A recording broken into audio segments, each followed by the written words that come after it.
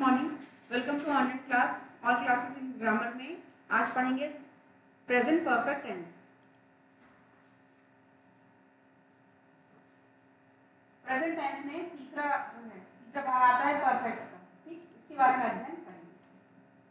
Perfect यानी पूर्ण होना। ठीक?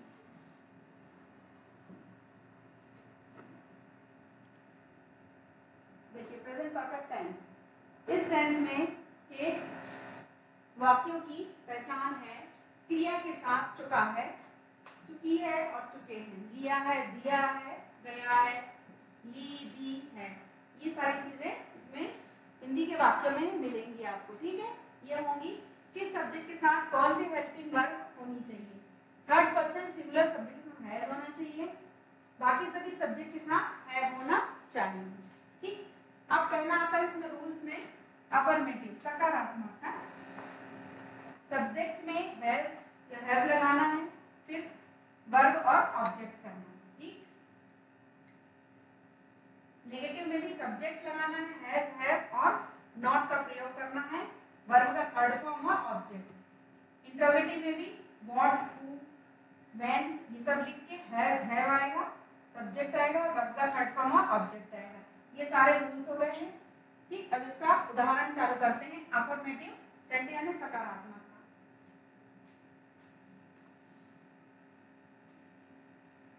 देखिए पहला आया सब्जेक्ट ठीक है? यहाँ ये ये सारे क्या है? सब्जेक्ट है। दी शी और ऑब्जेक्ट क्या है? ये side left school premises message pass कर लिया है। ठीक? चलिए। अफर्मेटिव में शुरू करते हैं। मेहमान जा चुके हैं। आपको बताया है बी की रूल्स में क्या है इसमें? चुका है लिया है ये सारी चीज़ें आएँगी इसमें। ठीक? तो इसका पहले हिंदी में ऐसा लिखा गया है है ना?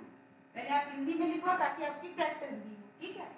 आप उसको इंग्लिश में कन्वर्ट कैसे करेंगे? द गेस्ट हैव लेफ़्ट ये अपने रूल्स के हिसाब से आ गए ठीक?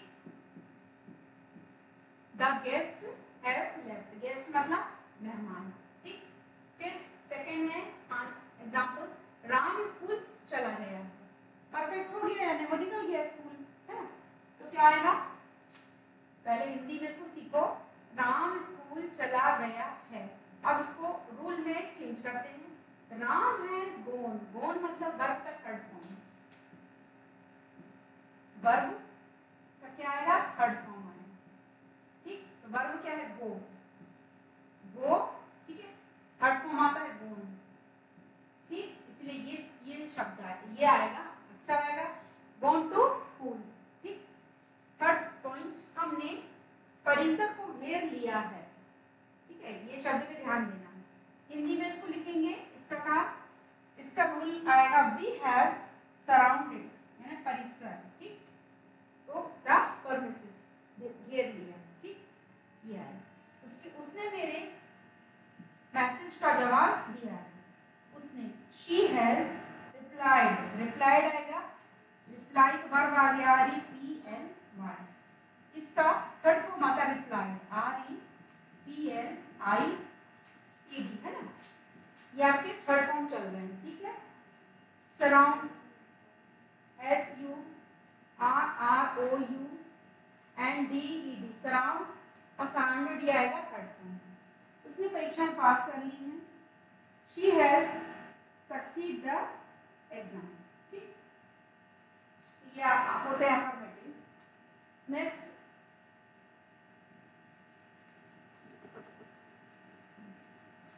नेगेटिव नेगेटिव में भी आपको हमने रूल्स बता दिए थे कि पहले आएगा सब्जेक्ट ठीक है? फिर क्या आएगा? इज़ नॉट आएगा वर्ब का, फिर वर्ब का थर्ड फॉर्म और ऑब्जेक्ट आएगा, ठीक? फ़र्स्ट आएगा। वह टहलने नहीं जा रही है ना? तो क्या लिखेंगे? She is not going to walk second मैं पढ़ाई नहीं नहीं का इसमें उच्चारण है, मैं पढ़ाई नहीं कर रहा हूँ आई एम नॉट स्टडिंग ठीक? थर्ड वे डिनर नहीं कर रहे हैं। They are not having dinner four way party में नहीं जा रहे हैं। They are not going to party five वह रो नहीं रही है। शी इज़ नॉट क्राइंग अब आता है इंट्रोगेटिव मैंने प्रश्नात्मक। क्या वे वे दो घंटे से क्या बात कर रहे हैं? ठीक? रूल्स में आ जाएगा।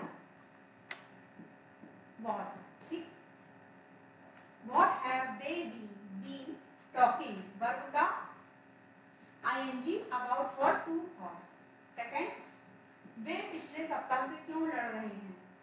Why है? Why मतलब क्यों? ठीक है? और what मतलब क्या? क्या होता है? been fighting since last week. तीसरा, क्या वह 25 साल से पढ़ा रही है? She been teaching for 25 years four कौन पिछले एक घंटे से शोर मचा रहा कौन मतलब हुआ था ठीक ठीक है स्टूडेंट्स तो ये हो गए अपने प्रेजेंट परफेक्ट जो टेंस है, उसके जो तीन प्रकार के जो वाक्य बनाते हैं, ठीक है? उनके लिए आपको मैंने आज समझाया, बताया, आपको भी अगले हर तीन टाइप के आपको भी वाक्य बनाने हैं और अपनी नोटबुक में लिखना है, समझना है स्पेलिंग में विशेष ध्यान देना है, ठीक है? Thank you so much